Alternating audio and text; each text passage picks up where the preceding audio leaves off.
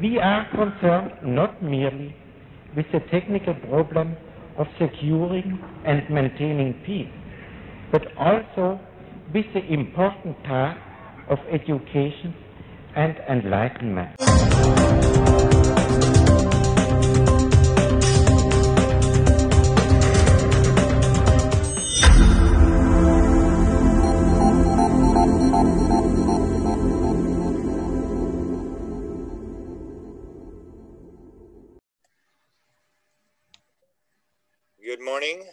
Good afternoon, good evening, wherever you are in the world.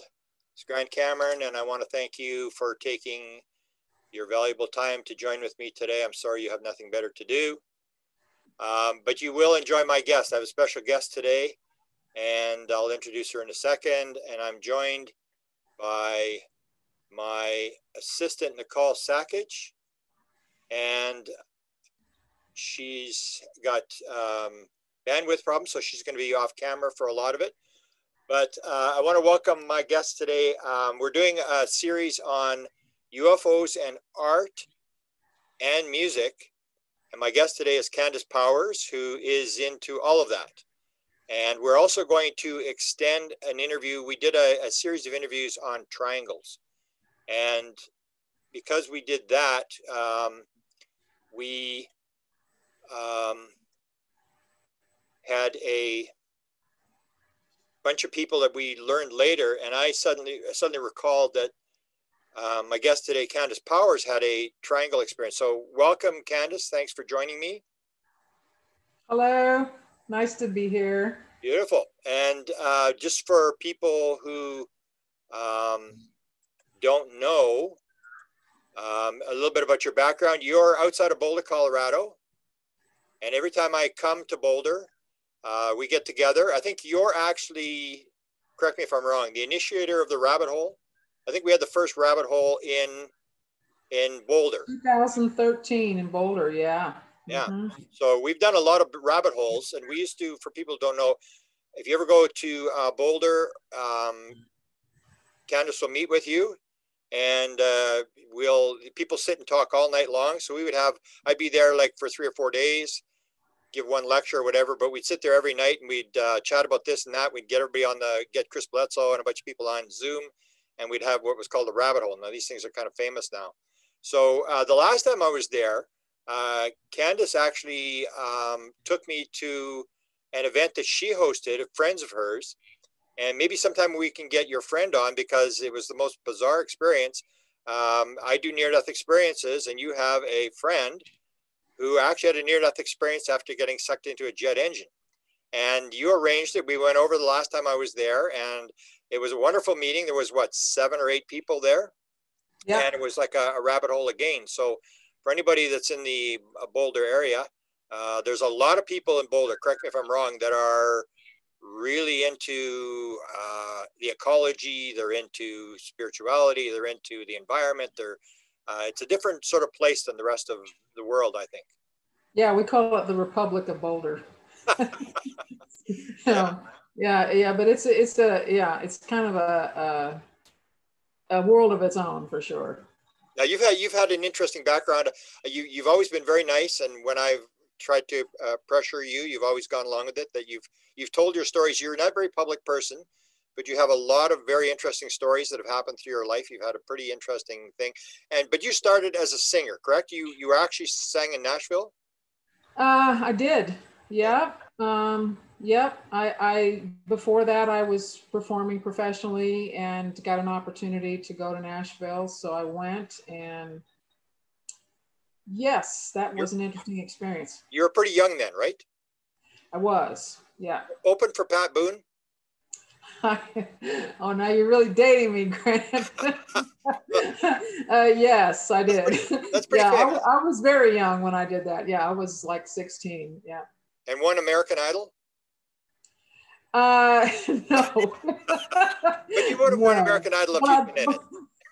I did win a quarterfinalist award in the American Songwriter Contest, though. oh, there you go. So that so you're the person we want to talk to because we're going to do first we'll do triangles. Is that okay? And then we're going to do uh, sure. We'll do some music and then we'll do art. That's what we had started this um, series. We have a bunch of artists and I think you fit right into the the um, the mold of this because what we found is that a lot of people who have experiences suddenly, like Chris Bledsoe, go racing out and have to buy art supplies and start painting. And uh, Emily Trim, who was out of the uh, the uh, uh Rhodesian uh, school incident, she had the same experience. She had a second experience in Canada later on. And at mm. that point, she started painting. So we'll get into the paintings. I've got them on a PowerPoint. We'll go through the photographs of the paintings. You gave the paintings away, is that correct? Most of them, yeah. Yeah.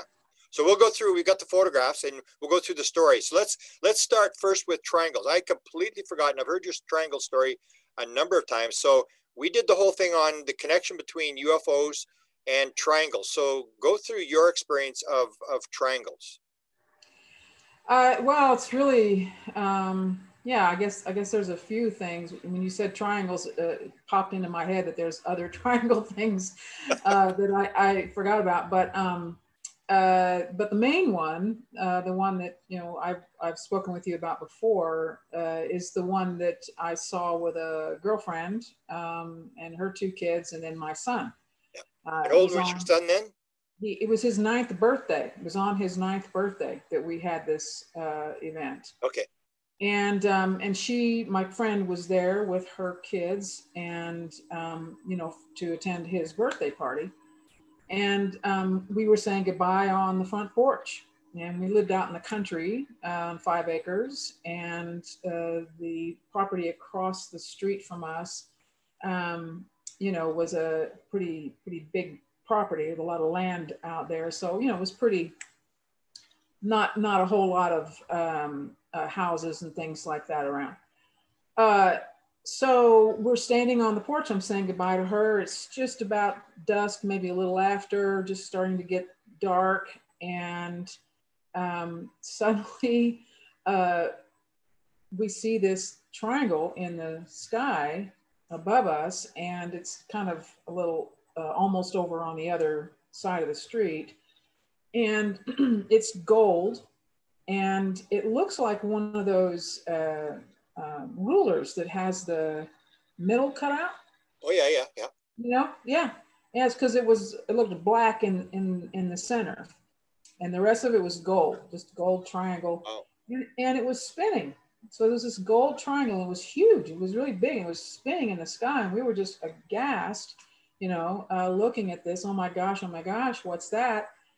and uh, start yelling for everybody in the house because this was actually my parents' house they were in there along with my brothers and my sister and you know um, so i'm yelling for them to come out and see this and nobody comes out they just i we keep yelling and they they don't come out and it's it's getting smaller as it's spinning uh, and tumbling around and um, it gets faster as it uh, gets smaller so I kind of figured out later that that probably meant it was moving away because it was stationary. It was in the same spot. It didn't go anywhere. But as it got smaller, you know, and faster, it, it just occurred to me recently that probably it was, you know, going away.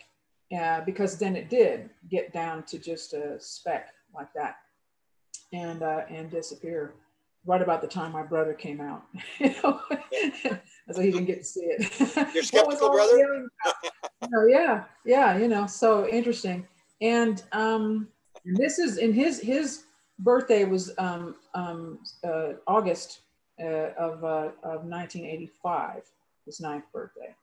So um, so he starts to obsess about the Titanic and he we had seen a i think we'd seen a movie uh, about it or, or something before and um and uh so i thought that that's why you know he suddenly started obsessing about it but he was just going on and on and he kept telling me mom they're going to find the titanic and and i'm like well yeah eventually you know they've been looking for it for years and years you know they'll probably find it sometime. You know, no, no, mom, they're going to find it. They're going to find it. And he would get so emotionally involved in this. He would cry and, uh, you know, insist on uh, going to the, to the library, get books or get any videos we could find on it and everything. So um, on September the 1st, which was, you know, less than a month, his birthday's on the 19th. So this is what, within 10 Three- days or yeah, something, yeah. three week, whatever, uh, they found the Titanic. you know, and uh, and so uh, so I was like, wow, Josh, they found the Titanic. I thought he would be, you know, really excited. He could care less. At that point, it was like, you know, once they found it, once it was, it was like it wasn't about actually finding it. It was about him having this energy around it, you know, him having this this feeling about it that that was so big. But you know, I mean, it clearly was a psychic premonition. There's no question. And for that to have happened immediately after we had this sighting, felt to me later, not at the time. You know, you don't hook those things up. Um, but uh, of course, later in later years, uh, I certainly did um, make that connection. And uh, and Josh is, you know, he's he's also um, a musician.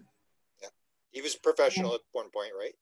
Uh, well, yes, he's professional now.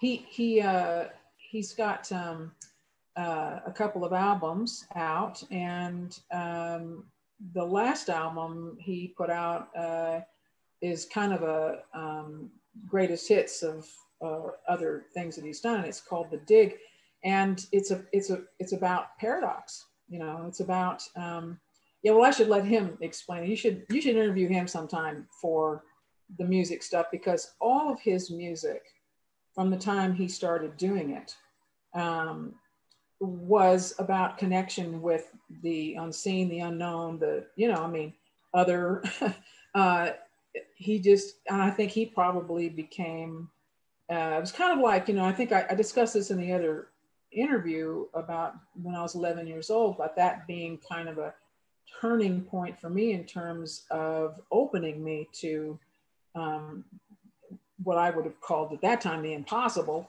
Um, but you know, uh, uh, things that that um, are beyond uh, kind of metaphysical, beyond the physical possibility that we usually uh, imagine. And uh, so I think that was his opening. I think when he was nine years old and had that experience, um, that that was his opening as well, because that ev- all of his music was uh, moved in that direction. Yeah. You you and I And discussed yeah, you and I discussed before. He's had almost like download things where he's getting entire songs and stuff like that. Yeah, yep, yep, yeah. And he he actually wrote a song uh, about that event called Space Overlords. About the triangle think- event? Yeah, yep. He Wow. wrote it all. Triangle event. It describes the entire event. It's very cool. Would, Yeah, he would, would, would he be would he be offended if we put it in here so that uh, just to give it a little bit of, and then we'll interview him. Oh, sure. Yeah. Yeah. No, he'd love it. Yeah. And he, you know, he doesn't, he doesn't call it downloads. He, he says, he says that, you know, he, he, he recognizes that he's in an altered state Yeah. and, and that he just, he just opens to the energy that starts to come in and that, that, um, he, he uh, feels the importance of the, what's trying to come through wanting to exist. That's how he puts it. He, he feels the importance of that thing wanting to exist. Wow. You know, and then he just follows through with that. But yeah, you should you should interview him. Yeah, He's we'll do got that. a lot. Yeah. We'll do that. He hadn't done. Yeah, I think he came on one rabbit hole one time, but other than that, he has not really been all that uh, public about it. But I would love to do that. Sure. I mean, um, how's his health? Is his health better now in terms of? Uh, you know, he's he's holding his own, and he's got uh, he's got some more um, help with everything that uh, he's dealing with, and so yeah, uh, and of course, COVID uh, it's made it uh, hard for him to uh, follow up with his usual um, uh, protocols, but but uh, but he you know he's he's still um, he's still doing okay. Good. Yeah. Okay, now uh, you had another one with the. Isn't there one with the uh, the Sasquatch thing with the uh, the being?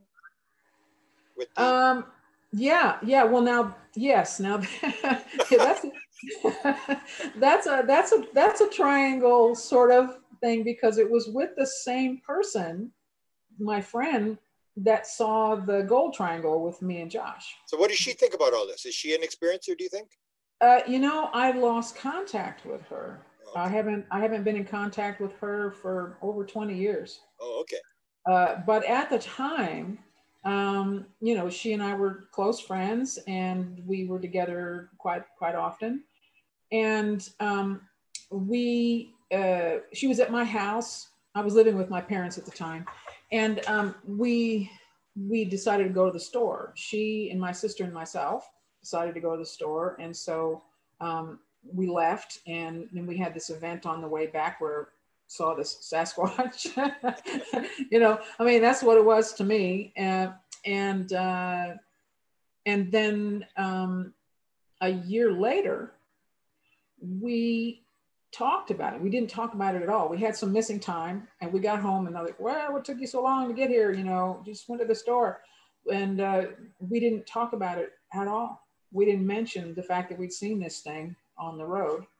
And then a year later, she and I had conversation uh, where where um, we were talking about uh, uh, the triangle, you know, uh, or it was I can't remember the the order of it. Either we were talking about the triangle, and then the Sasquatch event came up, and um, uh, or we were talking about the Sasquatch event, and then no, I think we were talking about the triangle. That's how it was because I said I said, well, yeah, but what about that thing we saw on the side of the road? I said, you remember we saw the triangle? Yeah, we saw the triangle. Well, well how, what about that thing on the side of the road? She goes, no, no, no. She goes, it was going across the road in front of us. And I'm like, what? so she had a completely different um, version of, of what was seen. I saw this big hairy thing standing on the side of the road, you know, uh, clearly not a bear. Um, and, uh, and she saw this black leathery thing going across the road and she described it as having um, i know Sinead got a big kick out of this but she described it as having triangular shaped legs i mean actually they were just feet there was no legs it was like she said there were these triangles attached to the body kind of thing and it, and, and and the way it was walking was it would go down on a tip and then or, or up on a tip and down on a side up on a tip you know like that yeah, uh, like like a like it was a wagon that had triangular shaped wheels. It was rolling across the road or something. Really bizarre. And um, and uh, and I've always thought that she somehow in her mind combined those two events. You know, because she associated them with me. She, you know, uh, because we were together for both things. So maybe she just um, she just put those two together like that but yeah, that's that's the triangular part of the Sasquatch story. that, that, that almost reminds me, people. Um, I always say that you have some of the best stories of anybody, and and so you may even have to. I remember you told me when you had the, told the rabbit story. Your I think it was your boyfriend said, "I think you need to be regressed," and you end up in Bud Hopkins' care, and you have two regressions with him. It almost seems like the same sort of thing. Is like you have this discrepancy between what you saw and she saw, and it's probably something completely different than what both of you saw. True, could be. Although Josh and I seem to have the same. Oh yeah, uh, oh that, that might have been a different recollection thing. of that. But her her recollection of the triangle though was different from ours. Yeah, she she said it had the it had all these colors and and sparkler like things flying off of it. You know.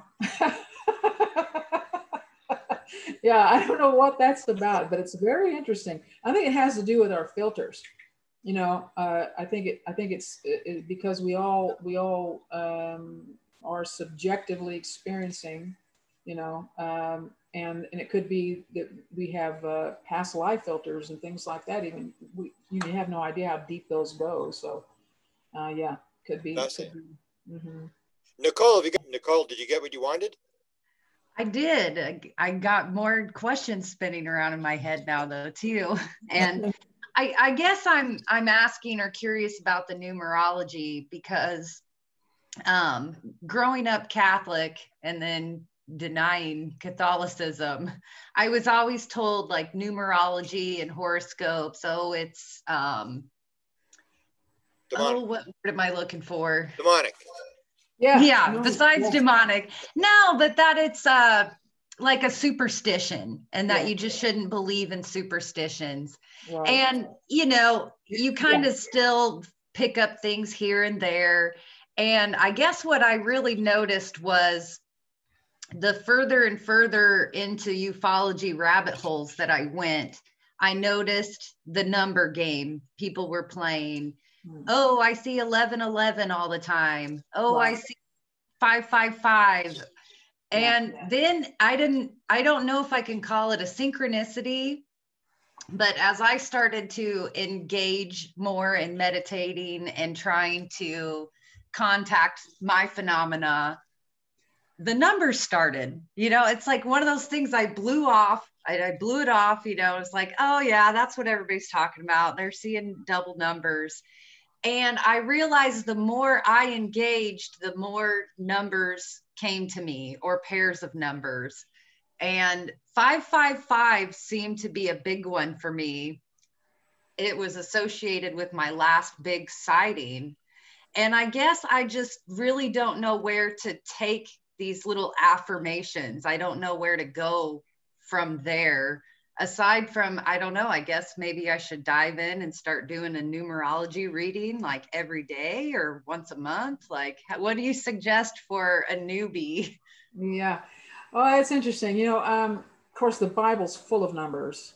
Uh, mm-hmm. Uh, right. I mean, uh, seven times with seven horns around seven people. I mean, you know, all the sevens that are in the Bible, you know, and uh, and um, and then there's even a chapter called Numbers uh, in the Bible as well. So, you know, uh, it, it's always interesting to me to hear um, people uh, talk about uh, about numbers that that um, uh, come from a religious background. but um, in terms in terms of um, where to start, I would say that if you have an interest, you know, uh, there's plenty on the internet um, uh, about numerology, although there's also a lot of stuff that I don't necessarily uh, align with. Um, uh, so, so yes, um, hmm, uh, I'm not sure what to tell you other than uh, than just to you know to do some research uh, to follow up on on uh, the numbers that you have an interest in. Just google the number you know just put numerology in and put the number and see what happens. You know you could right. do it that way.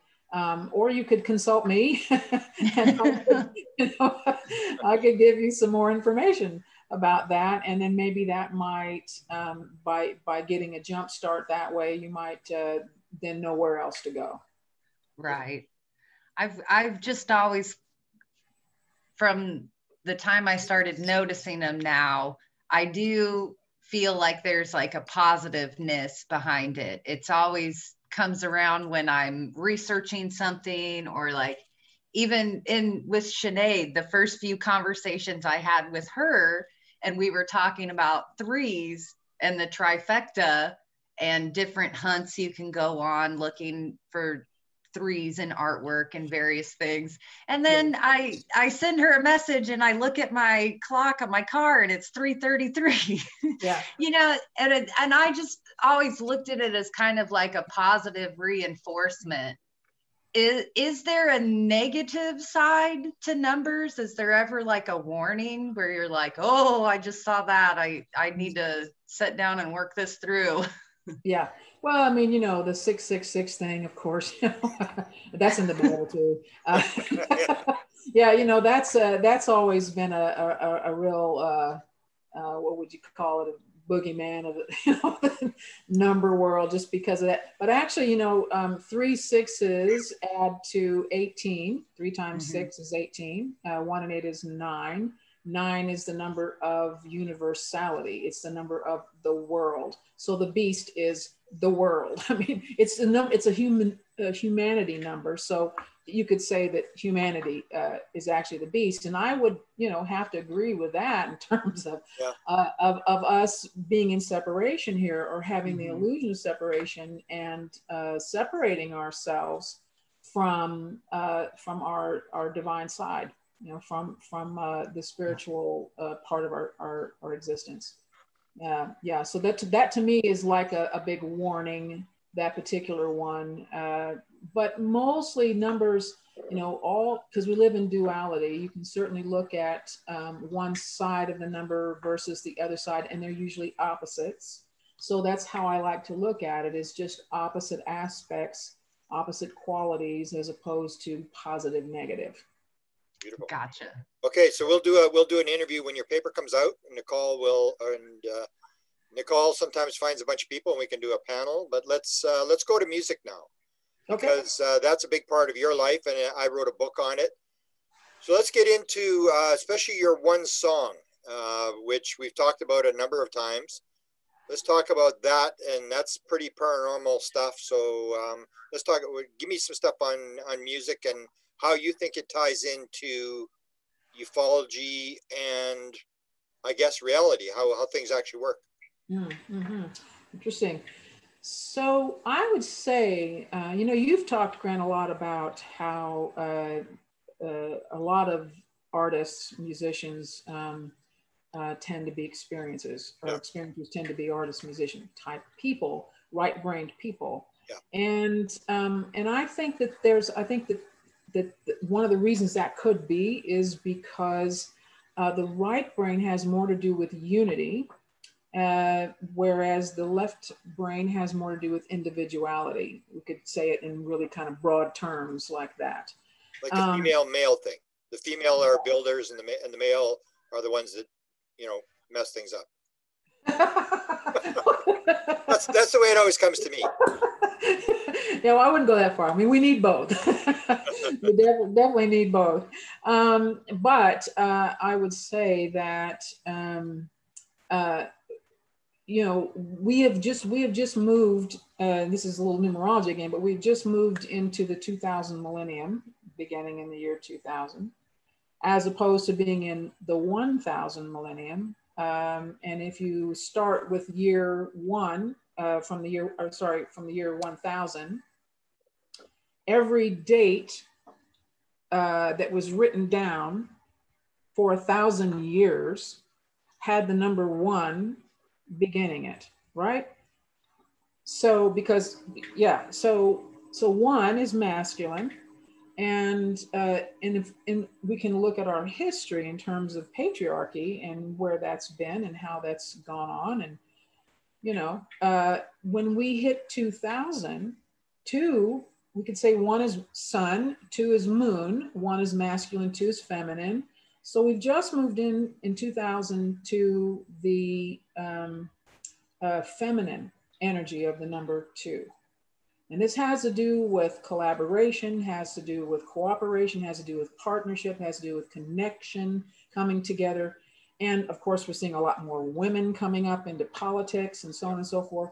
You know, so so um, so if you if you look at the success of Hollywood, for instance, why why do we have so much reverence why do we give so much reverence to uh, to movies and uh, to uh, celebrities and you know uh, because of the way they make us feel. It's because of the success of hollywood in their um, goal of providing emotional transportation through film. And how does that happen? How is it that that was successful? Well, it was successful because of the collaboration and cooperation of all these artistic people, right? It takes a tremendous uh, number of, of people, very creative, uh, most likely, most of them right brain. Of course, the left side is in there too, but just saying that the ones that are really making this a success are the people that that are, are in their more right-brained state. So to me, that's how, you know, I think this, I think this particular time that we're in, in this new millennium and coming together um, uh, in the way that we are and that there's been more activity, uh, you know, uh, UFO activity or contact activity is because the, the time has come for us to come together and it's the right brain people, the artists, who are showing the way for how you be successful. I mean, if you think about it, if the world or the United States were to come together like the people in Hollywood Yeah. do produced that successful film, think about how successful we'd be. Think about think about how much better you know uh, uh, the world would be if we came together in in cooperative ways and collaboration through love and unity and, and uh, connection. You know, so the, I think the ETs, this message comes through over and over and over again. Yeah, The- that's the oneness message. Yeah, in fact, John Lennon, I think, had the song "Come Together" right now. Yeah, And and Roger Leir, uh, another point. Roger Leir, who did the 17 uh, implant removals in Hollywood, was asked, "What's common between all experiencers that you've dealt with?" He said, "They're all right, right brain, creative people, and Hollywood is full of them." yeah, yeah, yeah, exactly right. So you know, I mean, that's that's to me the connection uh, between music and art and UFOs is that uh, that they are using the artistic people to get this message across because artistic people creative people are more tuned in in that way to unity and oneness and uh, cooperation connection Beautiful. And what was your what was some of your role? You talk about the, your your song "The Heart." Can you go through that and and some of the stuff that you um, have have been inspired by through through the years? yeah yeah so um so um back in back in the 70s um i was watching this movie um they might be giants. And this was just some random movie. I was in the house you know watching this movie. I hadn't heard of it before or anything. And by the end of it i was completely taken over. I mean i i uh, was so emotional and so um, just in an altered state, really, uh, from watching that movie and what it was bringing forward, which on a linear level, I didn't even know what that was. Is it just it, just how it all presented and unfolded and what you know what happened? Uh, you know, it, Hollywood did its magic on me there, and so um, I moved immediately from the end of that movie to the dining room table. Um, didn't even turn on the light. I grabbed a piece of paper and a pen and I began to write. And I wrote this song. I didn't even know what I was writing. The words were just, you know, I, I didn't know why I was writing those words. I just was writing these words. And I and I wrote it, you know, in probably between five and 10 minutes Wow. you know, of course, the music came later. I added the the music part a little bit later, but but I wrote all of that, and uh, and um, and then I ended up uh, recording that uh, in the studio um, in Denver. Uh, this was in Texas when this happened, um, and then in 1981, I think it was. Um, I came to Denver uh, with a friend, and we we recorded that in the studio in Denver. And um, then I went back and I and I recorded another version the next year uh, with a close friend who had a home studio in Texas. And so he recorded, and he was one of these amazing people who was uh, multi um, instrumental. You know, he he played a ton of different instruments and so forth. So he said, well, let me just do, you know, let me just try my, my own version of that. I don't even know if I should tell this story. Should I tell this story? Yes, yes, yes. You have to now. yeah. So, um, so yeah, so the song was called "The Heart," and uh, and so he did. He so we recorded another version, uh, version in, in his in his studio there, and uh, I think it was '82, and he put it on a cassette tape because you know we didn't have digital stuff then. He put it on a cassette tape and gave it to me after we finished, and I left with it. And somewhere down the line, I lost that tape. I didn't particularly like it as much as the one that um, we had done in Denver. You know, um, I, I feel differently about it now, but you know, at the time, uh, so so I didn't really, you know, I just kind of stuck it in a drawer, sort of thing, um, and uh, and then it, in one of the moves, it got lost. So I, I, I lost that tape. So fast track to 2011 um, my friend passed away that had recorded that. And I uh, went with a friend. I was living in in uh, in Denver at the time, or sorry, in Boulder at the time. And I had a friend from Texas who also knew him, and she came down, and we came up. I always get those confused. And um, uh, and we we went to uh, Crestone. Took a trip to Crestone, and you know I did some meditations for him, some Buddhist meditations. I was in school at that time at, at the Buddhist school, so so I did uh, some meditations for him, and I had put my computer in the shop before I left. Uh, um, there was something uh, wrong with it, and I don't even remember what it was. And I, I, gave it to somebody to, to work with it. And then I came back and I got my computer back, and um, I noticed that my because I had an album that I had put on there in iTunes, um, but it wasn't all together. They were kind of you know in in separate spaces, and I couldn't find all the songs from my album. So I'm looking all through. Oh my gosh, where you know everything's displaced now. Everything's all you know different since I got it worked on.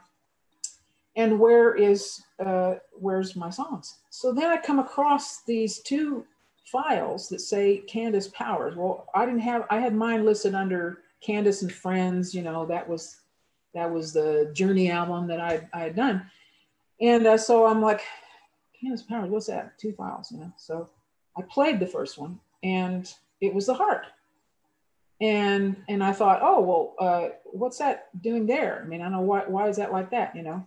But as I listened to it, um, it, it sounded different, and I couldn't figure out why it sounded different. Well, it was the version that my friend had done in his studio in Texas in 1982, and put on a cassette cassette tape that I had lost. And now it's on my computer in digital form, right? Not only once, but twice. He put it on there twice, like, like just to make sure you get it. so that was really weird. I don't know why it was on there twice, but it was. Yeah. And I realized that's that song. That's that's his version of that song. I couldn't believe it. And of course, this I'm discovering this right after he passed away and right after we come back from the trip from Crestone, which I, you know, so yeah, not only that, it was on my desktop computer too. This was my laptop that I first found it on. It was also on my desktop computer. That, that's pretty paranormal. What do you think, Nicole? That's pretty paranormal. No kidding. Yeah. That's why I always say you your your stories sort of trump everybody. You have the, these really really amazing oh. stories. What was the heart about? Heart about? What was the the theme of the song? Well, you know, this is the interesting thing. So when you, when you um, when you said you wanted to do this thing about music, this interview, uh, I started thinking, okay, well, what what music stuff can I? Be? Oh yeah, I'll bring up the heart, you know, because that's got that story, and um, and also I felt like I kind of downloaded it, and um, I'll bring that up. And so I thought, well, I wonder when that was exactly that I saw that movie you know? So i was kind of trying to get a time frame you know? So i so i googled the movie to find out when it was released and then i saw all these other things came up around it one of which was um, the ending that there was this big thing about the ending this guy had written an article explaining the ending because apparently a lot of people didn't like the film because they didn't understand the ending and um, and so I uh, so I'm reading through this article, and oh, I never really understood the title of the movie. You know, I didn't pay attention past what I got when I got it. You know, and I never saw the movie again after that. Um, but uh, when I when I'm reading this article, he puts a quote from the movie in the article, uh, from where uh, Dr. Watson, the movie is about uh, uh, this this man who uh, thinks he's Sherlock Holmes, and he ends up getting hooked up with a medical doctor whose name happens to be Watson, you know. And so it's about their their connection. It's really kind of a love story, but um, but she's trying to help him. And there's this. She asks him. She, she says to him at one point, and this is part of the quote in the article. You know, you're just like Don Quixote. Uh, you know, he he he thought every windmill was a, a giant. You know, so this this so this is the he's explaining this is this is how we we understand the title of the film. Yeah, he, he says she says uh, uh, Don Quixote thought every windmill was a giant. She says you're just like Don Quixote, and so then the character who plays Sherlock Holmes comes back and says, well, you know, he had a point, uh, but he took it too far. He said he said it, it, of course it wasn't that every windmill was a giant. It was the fact that he imagined the possibility. It was the fact that he thought it could be, you know, that, and what he was saying there, what I got for the first time, Grant, because of you, I got for the first time what the title of this film meant and why I was so moved by it and why I wrote that song. Because it has to do, and I think my whole path since then has been about this, which is really interesting as well. But um, anyway, um, but but it's it's about opening.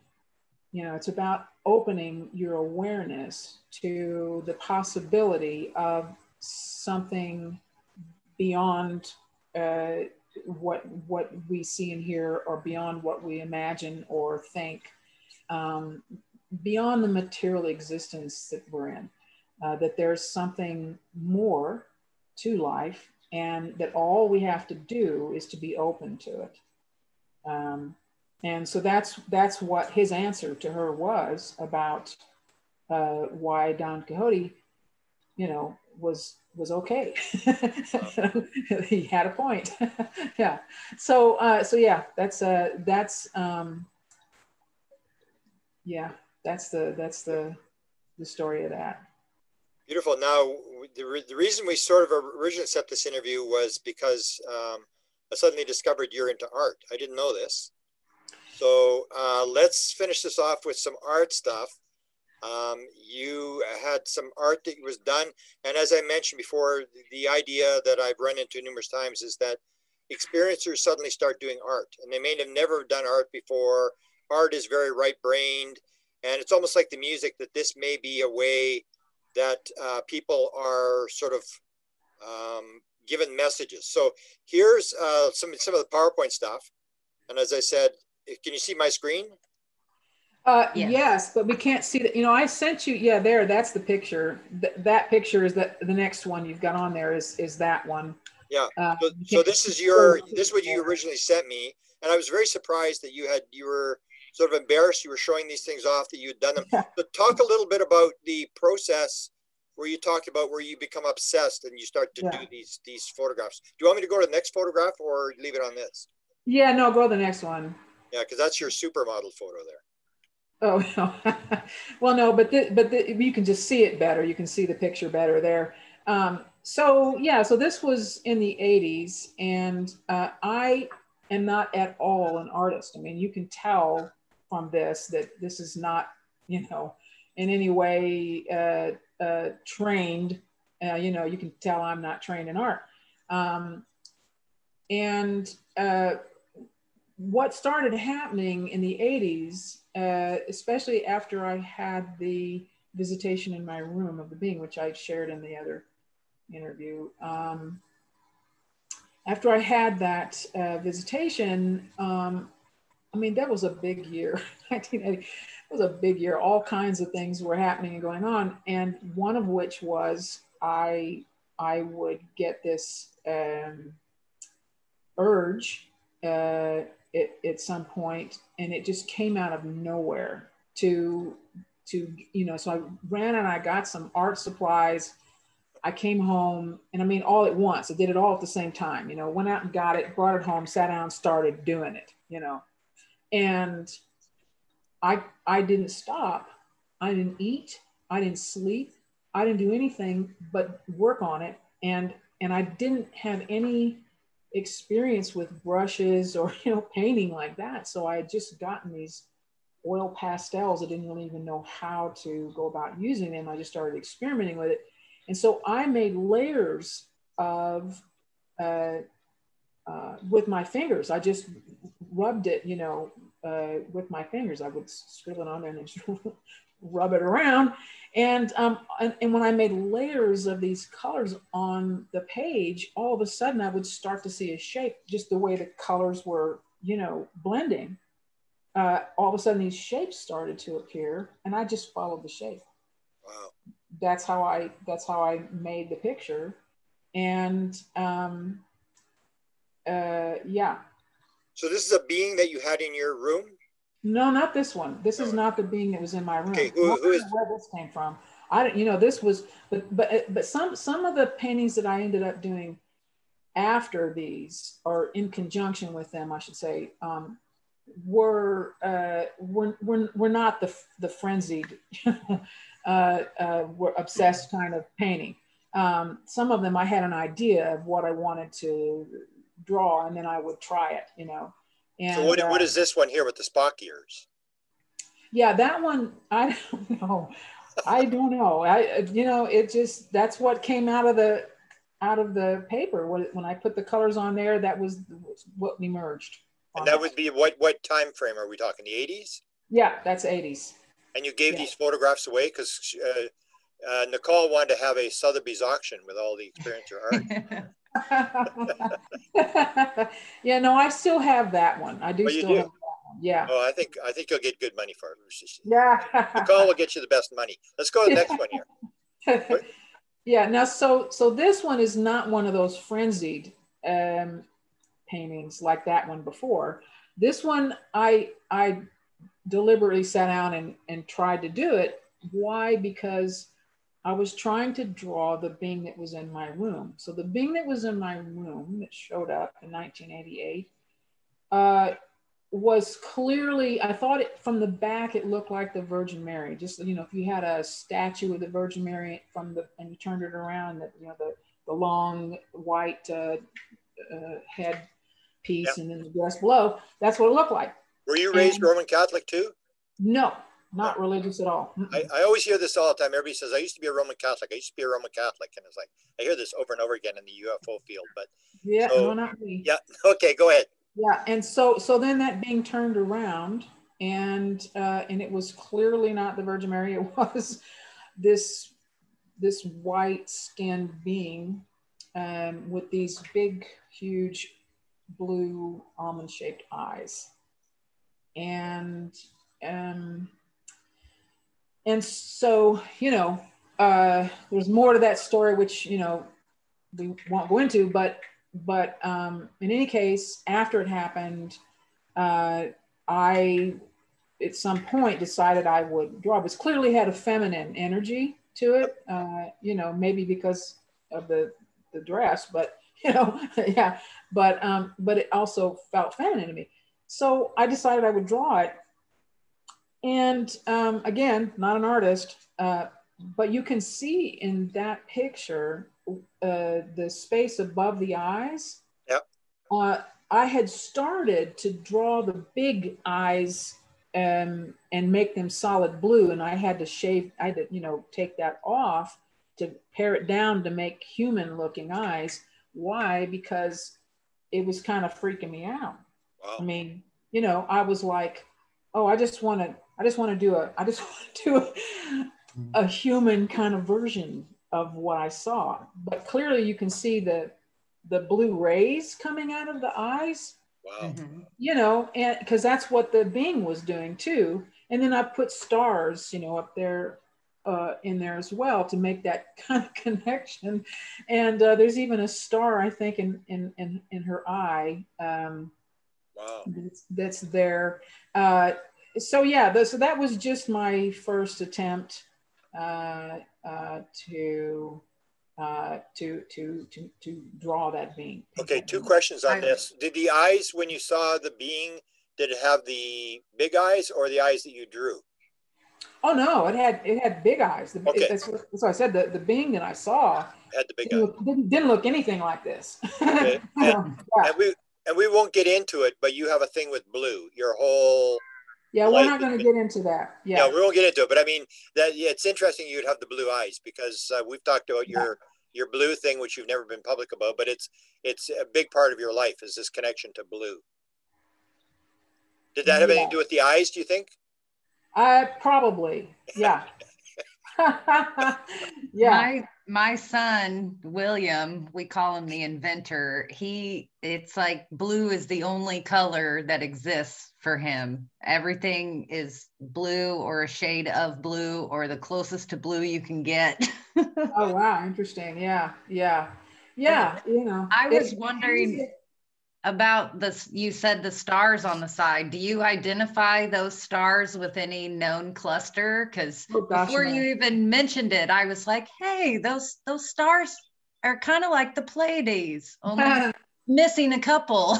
yeah, yeah. No, I, I, no, I did. That was, yeah, I wasn't thinking anything like that. Um, I was just drawing this, and in, in fact, I did eventually make a painting of the being, and uh, uh, I didn't send you that one because it's too big to uh, to uh, scan on my computer. So how, how Um, many how many paintings would you still have left?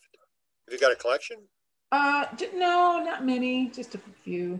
Um, I could, I could, if you want to wait a second, Well, we I could, I could go grab that, that one of the being and show you, Okay. so you can see the difference, what it looks like. okay. Yeah, Yeah. when we go back off screen, what's with the signature? What's the what's that mean?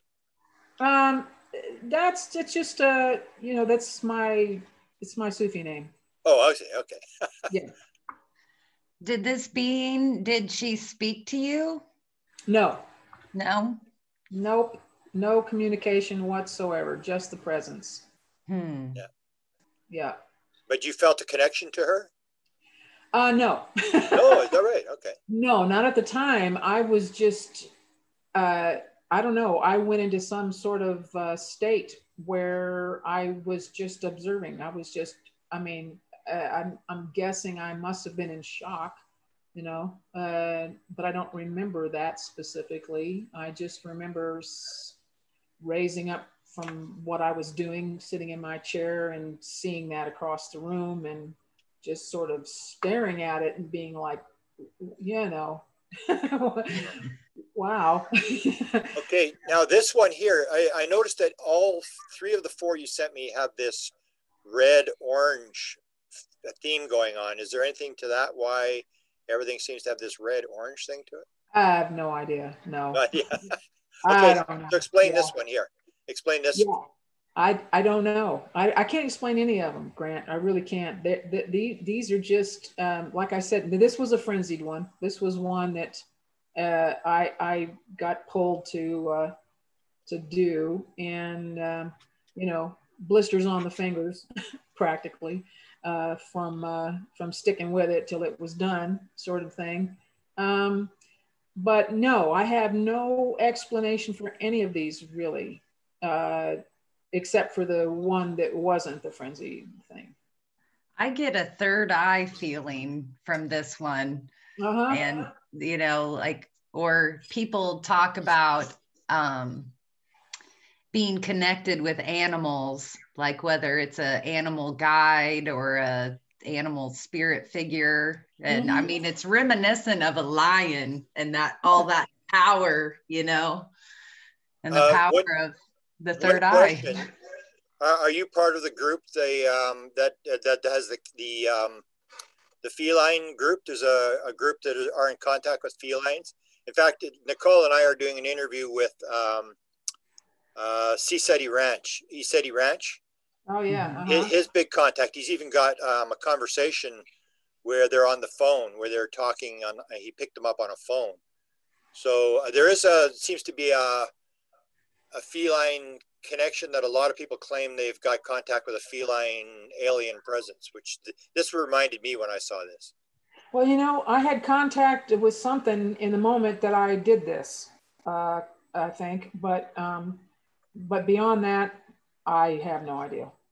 do you have any one particular type of uh, encounter? Like yours seem to be going that you're interacting with a lot of different species, whereas a lot of people say, "Okay, I just had the grays." You seem to have different ones. And and what do you think about the idea that people have, like a lot of people will have three or four different types of beings that they interact with? Have you got any thoughts on that? Why why it's not just one being? Are the beings all working together?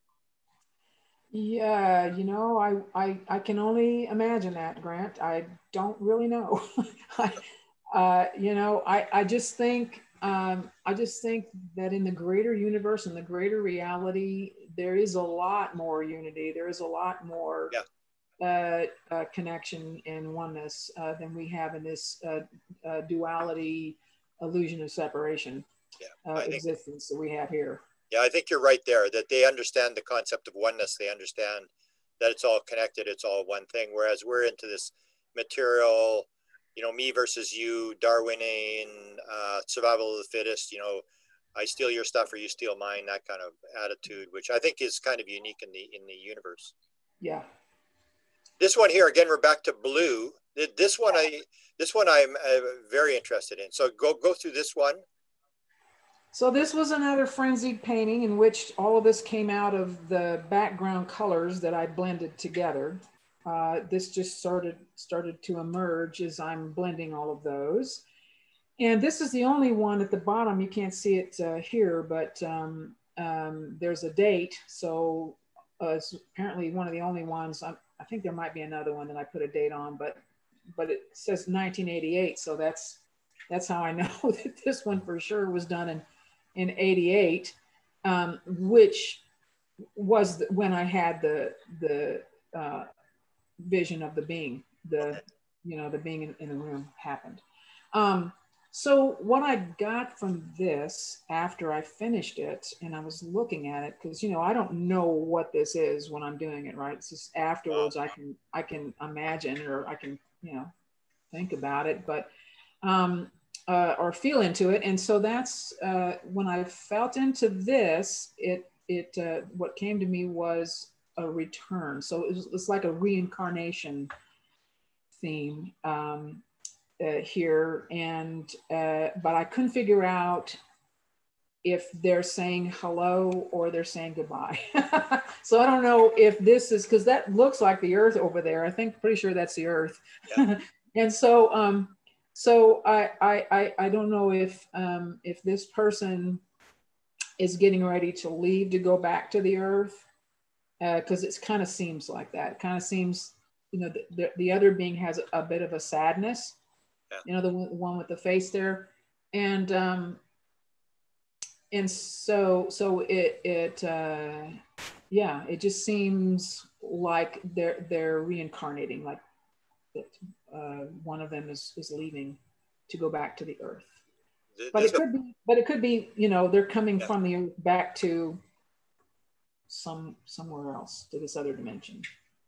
I love this one. It's fascinating painting. With the heart, is that is what did you interpret with the light in the chest there? Um, it looked to me like there was an exchange of some okay. sort happening. I, I am not sure what that is about, but that's kind of that's the only thing I could. That's what I I, I got when I asked uh, was that um, that's that that's an exchange, uh, and it, and it felt like an exchange of information uh, as well as um, heart energy. Wow. Um, when was the last painting you did? Oh gosh, I haven't done one in a really long time. Um, been a while. Yeah, a long time. I don't know. I can't even tell you, Grant. I don't even know. It's been that long. So grab grab this other painting and let's see this. Okay, hold on. Beautiful.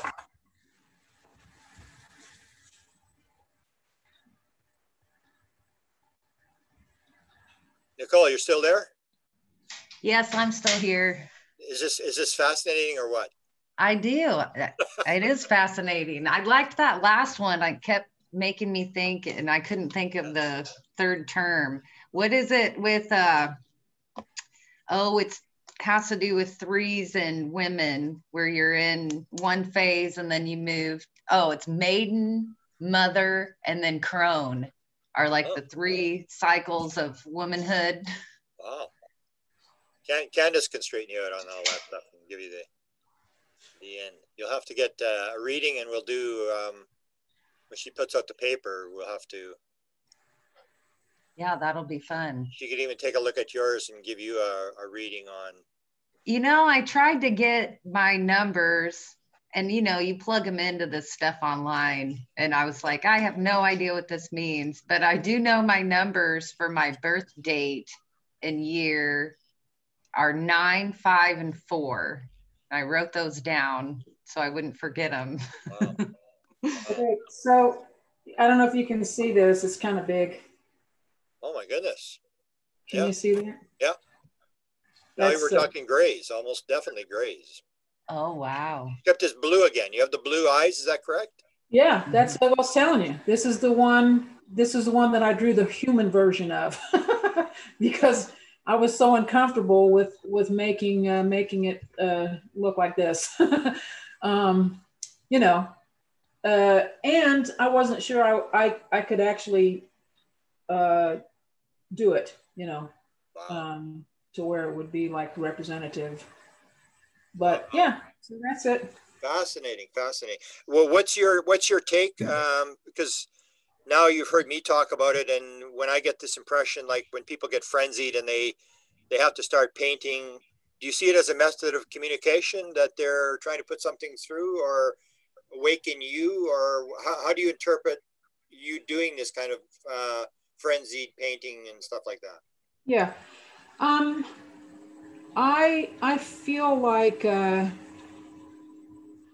because you know you you this is like musicians do this too, right? It's it's about inspiration. We it's about opening once again to the to the field, opening to source, opening to you know the unknown, and um, and uh, opening to inspiration that that wants to come in. Uh, and I think the very idea of opening to inspiration lends itself to uh, connecting with uh, the, the divine, connecting with, um, you know, uh, that, that greater reality, that part of us that uh, is calling for expression. And so artists, because they respond to that call, um, you know, uh, are first of all getting in touch with the fact that that's happening for them and then um, you know the reason i think that that, that art um, is appreciated by other people uh, the, the reason that certain artists become famous is because people are inspired by what inspired them through their art Mhm. so that whole circle of inspiration comes comes full term you know comes together um, uh, from artists to to to others to people uh, but it's it's that it's i mean that's why we love art because we're inspired by it and uh, and we're inspired by it because the artist was inspired when they did it Beautiful. I have to run, but let me ask you uh, finally, what do you, what are you up to? What are you, uh, are you working on anything? Or are you, um, just the numerology right now just working on uh, you know doing doing the the reading i'm a little late i usually get it out a little earlier than this but um, just working on my my uh, uh, universal reading beautiful. And I think we'll do, we'll do something that's okay with you. We're doing another interview with Sinead. So people that want to see the, the first interview that you and I did with Sinead is on my White House UFO channel. This one's going to be on the calls. Will be on mine later, but it'll first be on the calls. And uh, I think it'd be uh, wonderful to do a numerology one. And we're doing a second interview with Sinead, correct? yes Yes. Because you have so Yes. many stories. And I, I make you tell them all the time every time someone's at a, at a thing. Have you heard her story about the rabbit? And I make you tell the story. So Now, yeah Candice, I know you said you didn't want to go too far into discussing blue or anything, but do you yeah really not do you think it has any kind of link or is there anything to hunt down blue with relation to uh, star children or crystal children or the indigo children? I, I hear them all called possibly the same thing? Do you think? Yeah. Um, Okay, I, I'll say There's- this. Yeah, I'll, I'll say this, and, and that is uh, not having anything to do with me necessarily, but but but blue is often associated uh, with Christ consciousness. mhm. That that uh, you know that's a that's a, a color that has a frequency or vibration um, that uh, is reminiscent or um, uh, having to do with the with the greater reality. And you know, I think there's probably uh, it's a very it's a very unique kind of. I mean, of all the colors, you know, it's a it's a it, it came late in terms of people being able to see it. In fact, um, so that looks like it has something to do with uh, evolution. You know, with our, our ability to connect to the to the greater reality uh, Yeah. as we evolved. Mhm. I, I think it would probably be true to say that your blue story, if you were ever to do the whole thing, it would probably be like a book. It's not just like like a small story. It's pretty long and involved and has a bunch of different pieces. Yeah, it's never going to mm-hmm. happen, Grant. Yeah, no, I know, I know. You, you've told me little bits of it, and you gave me a little souvenir. You gave me a souvenir of the blue story, so I know a little bit. And and that's what I've I've always appreciated about you is your stories are so paranormal. They're they're just like I mean, just like wow. I mean, that when you start going and and you you're not very open. I mean, you're not very you're not looking for attention. So unless I push you to tell No. the story, usually you don't tell the story. But you have all these stories, and then it's like, what you told? And it's like another story, and it's you've had you've had some very interesting stuff back in in Texas with some of the top researchers of the time.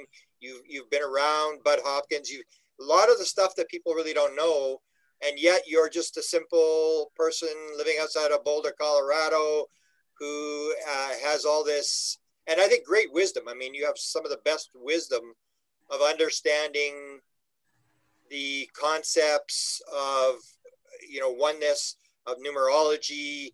Uh, you do a lot of reading. A lot of people don't know that. So i appreciate that you're willing to share because i think probably you've not done you've done a lecture for the the boulder group. But other than that you haven't gone on the circuit. You haven't told your story. You haven't written a book and you basically only tell your story when i force you out Yeah, and that's just just how I like it, Grant. my final my final question candice is um, from your i think it was the first painting you showed or the the being in your room you said it you saw the back of her at first and you associated her with mary and i've come across this myself and with some other experiencers it's like that shape or that iconic looking Mary. And I didn't know if, how many other experiencers you've maybe talked to that have experienced the the Mary image because mine changed on me. I at first saw what it looked like Mary and child, that definite shape. And then I got pissed off at it. and it was like a how dare you come to me like this moment. And it changed. so I've come across this a few times. Have you come across this as well, or just your own experience? Well, you know, um, not in not with other experiencers. I mean, uh, not UFO experiencers. There, there are certainly the Marian apparitions. You know, up, appear to a number of people. The Fatima, you know, is the most famous uh, case. Um, uh, so, so that certainly exists. There's a lot of people that have those those visions. Um, and uh, whether or not Fatima was associated with, I mean, UFOs or not, that seems a very interesting. Grant, you should do. You should research that. Yeah, well, there, there is, there's a lot that have the, the female, like Chris Bledsoe had the, Mhm. The lady come to him 2012. It may be the female essence, the, uh, the sort of Right. the female part of the universe that we were shifting from the male to the female. It may be all that kind of stuff because uh, there's a, quite a few people who will start with a uh, sort of alien experiences, grays, and then suddenly the female appears, and it's usually Yeah. like a like an angel. It's in white and and this sort of thing. And I, to me, I've always seen it as like the female uh, energy coming across. Like I had with my psilocybin experiences, I had the one, and I and I got it on tape, and I'm saying I am talking to a woman here, and it was like, and it was like the question is, how do you know? And it's you. You said the same thing. It's like you just sense. You know, there's a female. You know when it's a male, and you can't tell why. And I'm saying it's the weirdest thing in the world that I'm actually talking to what appears to be a female. Well, you know, one of the things I did think later, I didn't, like I said, I didn't associate this vision with Mary in the moment. I just was in shock. But later, you know, looking looking back at it, um, I I came to the idea that she possibly presented with her back to me so that I wouldn't be too shocked, you know, and and also presented with those so that because somewhere in my unconscious, I'm sure I was uh, connecting that vision because we've all seen it so much for so many years, you know, millennia uh, practically. And um, so, so you know, uh, I would I would naturally probably be more calm uh, seeing something like that. So, so my idea is that that that was done on purpose to put me at ease. Yeah. Yeah, because the Okay. feminine energy does that. Thank you so much. Yeah. Wonderful. We'll leave it at that. And uh, Nicole, uh, we we may end up in Boulder sometime, and we'll um, we'll have a, a little chat. And we'll have a little uh, rabbit hole thing. And when you get with Candice, it goes till yeah, and you you get along with Candice because Candice can do two o'clock, three o'clock in the morning as well. She, she likes the, she's a night person. And these these meetings go on every night. People don't realize like how many times did we do it? Like every Oh, yeah. night for five or six hours. And, Yeah. And it went Right, on for I'm- like a whole week. And and Candice was always there, and she wanted, can we do it again tomorrow? And and we do it again. And uh, the, Well, that's- Grant, you're you're a, a, a- a fountain of information yourself. So you well, know, so are you. I mean, I'm I'm very surprised at how much you actually know, but you really don't say it. It's not until uh, you know I hear you talking about something and like seems like you have a great wealth of knowledge. You must do an awful lot of reading on different stuff, and you seem to know all the books, all the characters. So I, I really appreciate you having shared because I know you don't do it very often. So I really appreciate it. And let's get together. You two get together and let's set up something for the numerology thing because it seems Yeah. like um, uh, Nicole is very interested in this numerology thing, and Yeah. um, help her out a little bit. And let's do a an Sure. interview on that. And hopefully we can get together once the COVID thing is over, because you know I come through Boulder when I'm heading whether to Laughlin or to LA or whatever. It's a very Yeah. simple, cheap flight into Den into Boulder. We can Yeah. get together, and uh, anybody who has another to meeting. Boulder, yeah, it's an absolutely beautiful place. I don't know if Nicole's ever been there. I mean, Boulder is a place you can't die till you see Boulder. I mean, it's it's a beautiful, beautiful place.